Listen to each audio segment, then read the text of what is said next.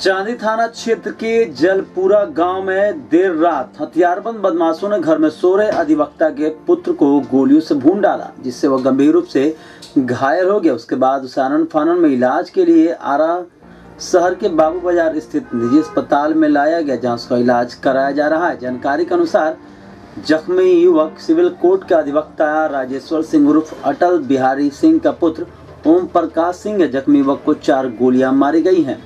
इसमें एक गोली दाएँ साइड पेट में, एक गोली बाएँ साइड पेट में, एक गोली बाएँ पैर में और एक गोली दाएँ हाथ में लगी। जख्मी ओम प्रकाश सिंह ने बताया कि उनका तीन ट्रैक्टर और एक स्कॉर्पियो चलाता है।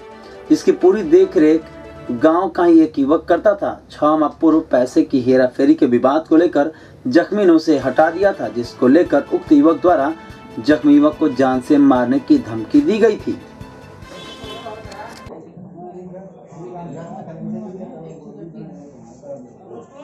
गोली लगा। दो बजे रात में सोए हुए थे रूम पर।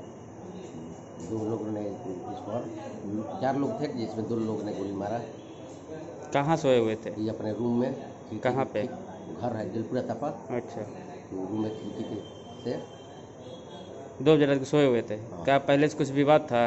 नहीं पहले से कोई विवाद था ढेर दिन पहले था लोग के आपसी ऐसे ही दोस्ती यार कौन लोग था वो?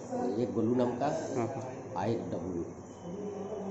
आपके घर पे आके चढ़ के मारा है गोली हाँ हाँ हाँ। सोए हुए थे? सोए हुए थे। अभी क्या स्थिति है इनका? अभी तक गोली निकल चुका है। क्या गोली लगा था? चार गोली दो गोली पेट में एक पाँव में एक पैर में। एक ये दोनों गाँव ही का लड़का हाँ, दोनों गाँव ही के लड़का है। ठीक है ना अपना अपना नाम बताइए। सुनील कुमार सिंह। उनका नाम बताइए। ओम प्रकाश क्या लगते हैं उनके वो हमारा हमारा भतीजा लगता है। घर? जलपुरा तपा